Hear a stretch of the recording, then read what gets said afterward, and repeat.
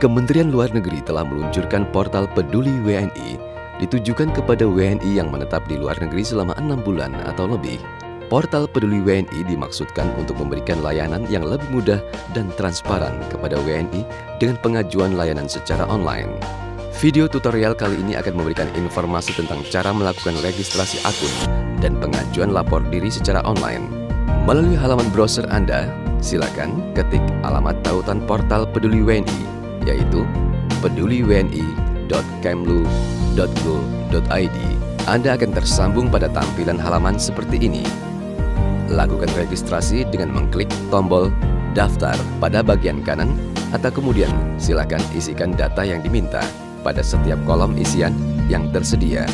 Jika isian sudah benar, klik tombol daftar. Tautan aktivasi akun akan dikirimkan ke email Anda. Silakan cek email Anda dan klik pada alamat tautan aktivasi akun yang dikirimkan ke email Anda. Harap jangan menghapus email notifikasi tersebut agar Anda dapat melihat kembali username, password, pertanyaan keamanan suatu saat jika Anda lupa. Anda kini dapat mengakses layanan melalui portal Peduli WNI. Pada halaman beranda portal Peduli WNI, klik tombol masuk. Kemudian isikan alamat email, password yang Anda masukkan pada saat pendaftaran. Untuk proses lapor diri melalui portal, Anda perlu mengisikan data-data berupa data identitas, data di luar negeri, data tujuan menetap, dan data kontak darurat. Untuk memudahkan pengisian, siapkan bukti identitas yang Anda miliki, yaitu KTP, paspor, atau KTKLN, serta bukti tinggal Anda di luar negeri. KTKLN digunakan jika Anda adalah pekerja migran Indonesia jika Anda telah siap melakukan lapor diri, silakan tekan tombol lapor sekarang.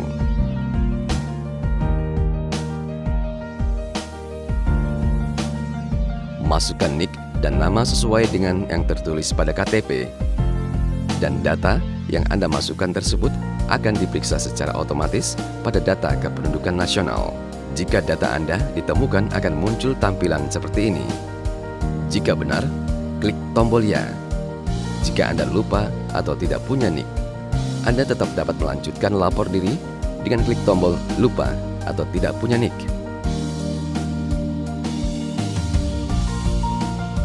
Selanjutnya, Anda dapat melanjutkan dengan pengisian data paspor. Masukkan nomor paspor dan tanggal habis masa berlaku paspor sesuai dengan yang tertulis pada paspor data yang Anda masukkan tersebut akan diperiksa secara otomatis pada data keimigrasian nasional. Jika data Anda ditemukan, akan muncul tampilan seperti ini. Jika benar, klik tombol Ya. Jika konfirmasi tidak disertai tanda centang, maka Anda diminta untuk mengunggah halaman 2, halaman biodata paspor Anda.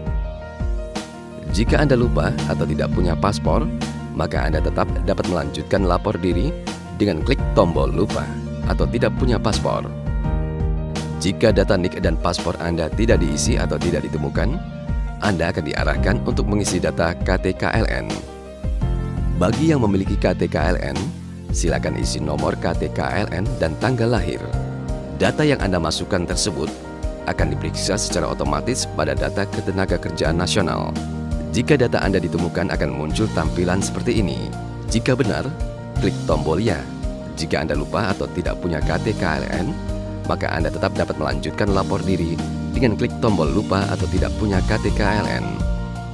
Jika data NIK, paspor, dan KTKLN tidak diisi atau tidak ditemukan, Anda akan masuk ke halaman pengisian data dasar identitas diri.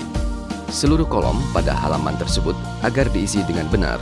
Bagi yang telah mengisi data NIK, paspor, dan KTKLN dan terverifikasi pada data nasional, kolom-kolom tersebut akan terisi secara otomatis. Pada halaman berikut ini, silakan isi kolom informasi mengenai data Anda di luar negeri. Setiap kolom yang bertanda bintang harus diisi. Unggah bukti tinggal yang Anda miliki. Bukti tinggal dapat berupa izin tinggal, surat pajak, surat tagihan langganan produk, atau transaksi lainnya yang mencantumkan nama dan identitas Anda, dan lain-lain.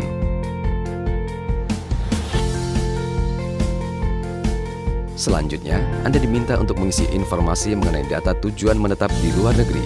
Lengkapi isian kolom tersedia. Kolom dengan tanda bintang wajib diisi. Pada halaman selanjutnya, Anda akan diminta untuk mengisi kontak nomor darurat di negara tempat Anda menetap dan di Indonesia. Kontak darurat tersebut menjadi rujukan perwakilan RI apabila Anda dalam kondisi darurat. Anda telah melalui seluruh tahapan lapor diri online melalui portal Peduli WNI. Selanjutnya akan tampil seluruh data yang telah Anda isi. Silakan periksa kembali isian data Anda.